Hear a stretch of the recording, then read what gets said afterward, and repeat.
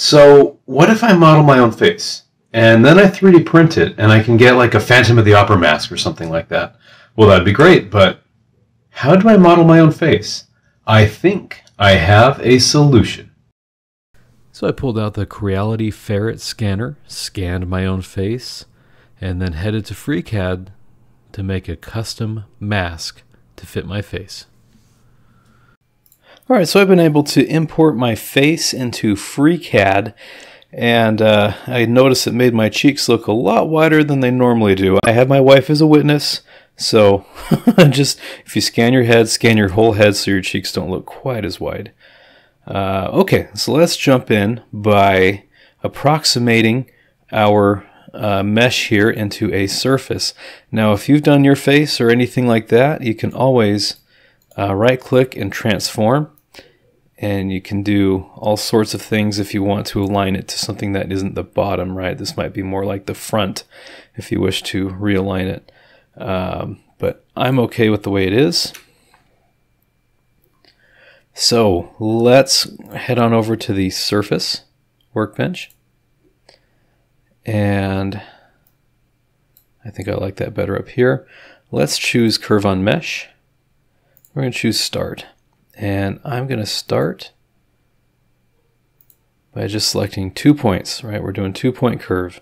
And then when I've done that, I right click and create.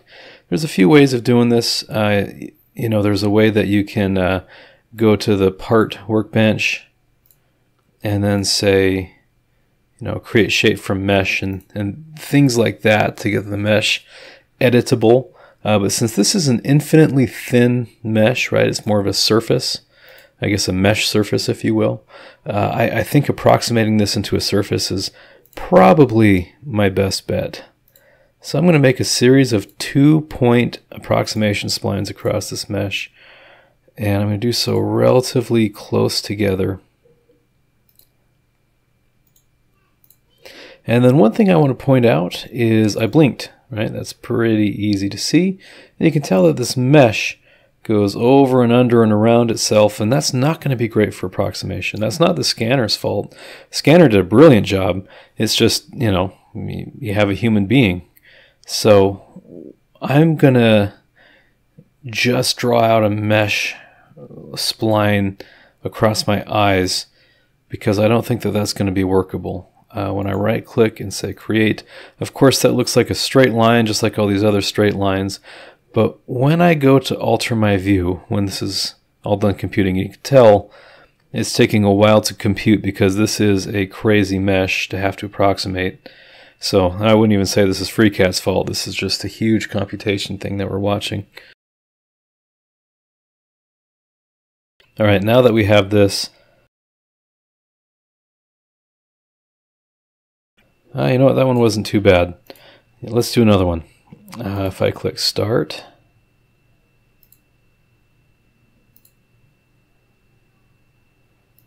and then Create,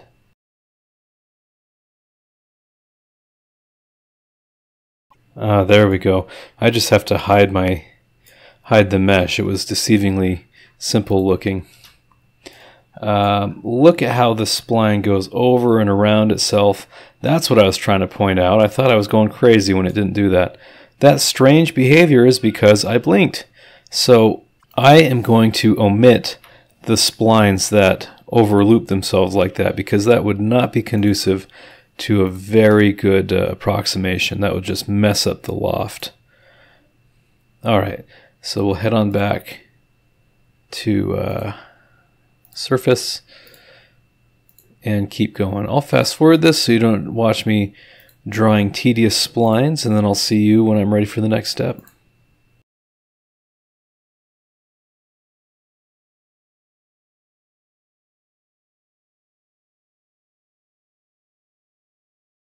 All right, so I've uh, made a little room for any part of the mesh that would uh, be messed up by my eyes. We'll close that. And now I can probably hide my face mesh. And we can run a uh, section, right? We'll click Add Edge. And we just start building a surface off of these edges. Sometimes it'll get really messy, but it also can get better when we click on subsequent lines. Right there it is, messy, messy, and then I think it's going to start to get cleaner again. Part of this is I have a beard, and if you really want to have a clean loft, avoid beards. It got a little bit messier on the last one. Do I actually need it? If I remove that last line. Of course, the uh, curvature can make some things look worse than they are, and some things look better than they are, right? So it's just a matter of being careful here.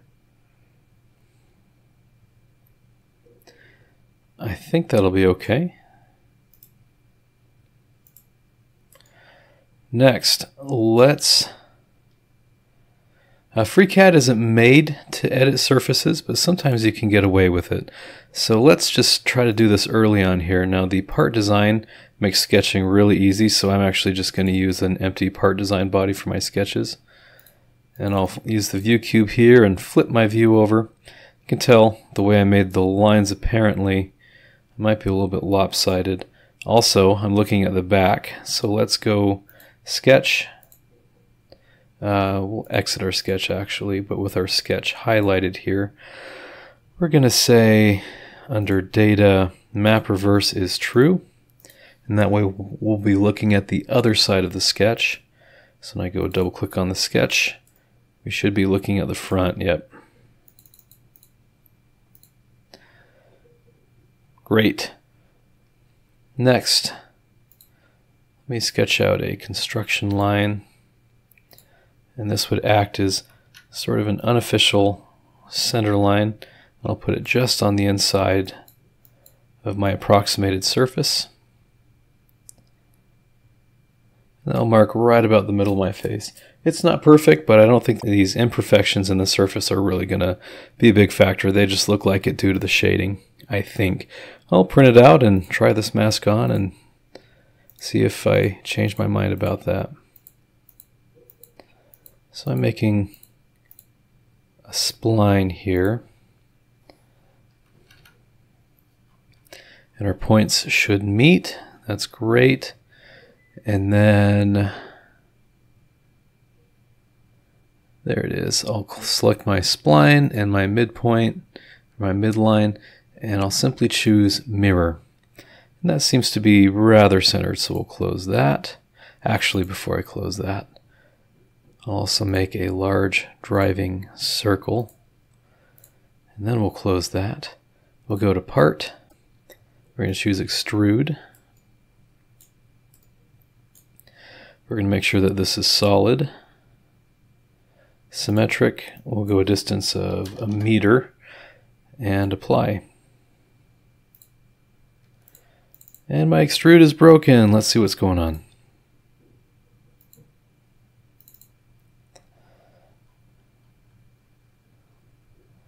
Looks like in the mirror we may have some broken. There we go. Didn't see that one coming. I thought all my points were connected, but can happen to everyone. So we'll close that, and there we have a proper extrude. I'm going to choose my surface, hold control, choose my extrude.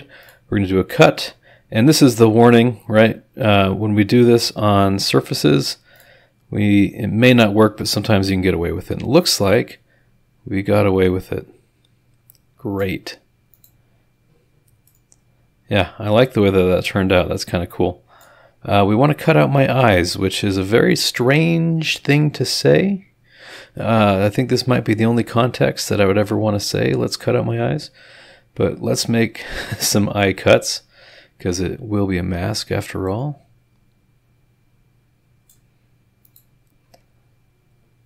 So we'll, again, make sure that our body is active by double clicking, create a sketch, same plane.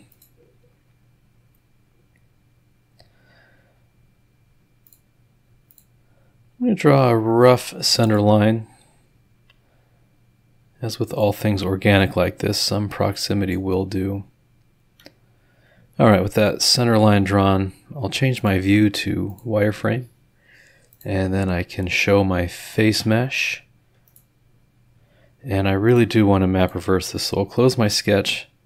We'll again go back to data.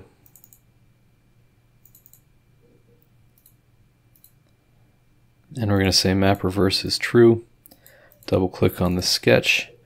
Now we're looking at the other side, and there you can see the eyes very well. So that's what I do in my visual settings to look at a mesh in a little bit better detail. Uh, I still should, oh, looks like my center line flipped when I did the map reverse, so I'll just refind about where the middle is. I'm going to say right about there. Although it's not quite centered on the nose, right? It's hard with faces. You know, there's a lot going on here, right? Is my face completely level? Is, you know, lots of things going on, but it won't, you know, we're making, we're talking about really small stuff that just looks big here, in my opinion.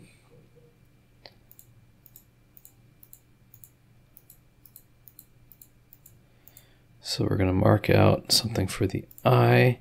That looks like we are closed. Don't want to make the same mistake twice. And then we'll do the same thing. Click, click, and mirror. Almost looks like I got some funky sunglasses. Huh. Alright, so we'll close that. Part again. Extrude. We are creating a solid. I'll say a meter, symmetric, so we don't have to worry about which direction we're going, and close. We'll change our view back to as is. Ugh, man, that's kind of uncanny to see your own face like that. All right, so we'll choose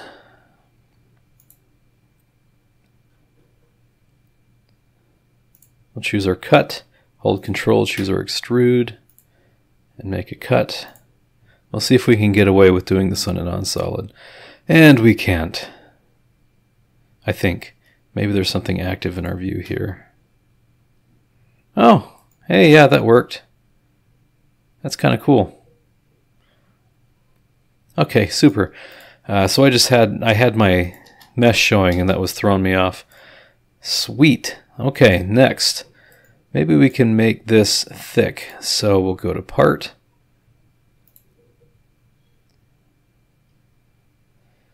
And we'll make sure that we have fill offset checked. I'm going to try my luck at 2 millimeters. And we'll say OK. Uh, th this is the tricky part because you're, re you're really going to be constrained by your uh, thickness. So if your minimum curve, like you have little curves like this, right? And you're liable to get some big errors. And you can tell, right? This is, this wasn't a perfect thicken because we have all these places where the surface is overlapping with itself. Anywhere that you have a curvature whose radius is less than two millimeters on a two millimeter thickness is going to have some kind of wonky error like this. But it looks like we're able to generate a good enough solid that we could actually print this and see. Uh, so yeah, let's give it a print and see how it goes. Again, watch the minimum radius of curvature. You might just have to live with a thinner thicken if uh, that's a thinner thicken if uh, if you run into problems. But uh, the, yeah, this looks like it might be a pretty cool thing.